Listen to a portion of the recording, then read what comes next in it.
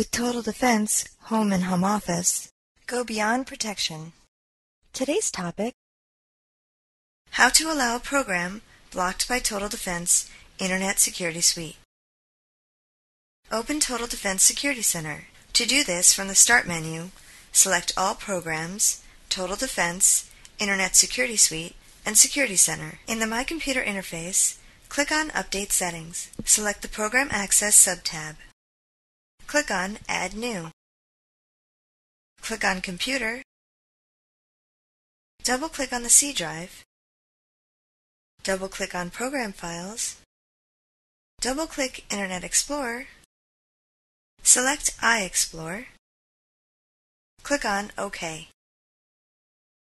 Select Trusted Group to allow the application blocked by Total Defense. Click on Save and close the Total Defense Security Center. This completes How to Allow a Program Blocked by Total Defense Security Software video presentation. Visit TotalDefense.com for more details. Thank you for watching.